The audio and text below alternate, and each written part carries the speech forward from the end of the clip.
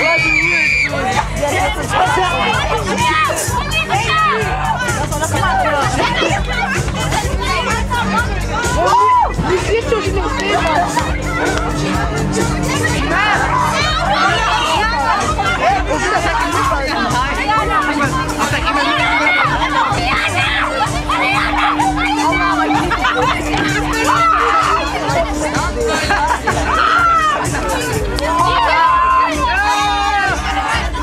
Dan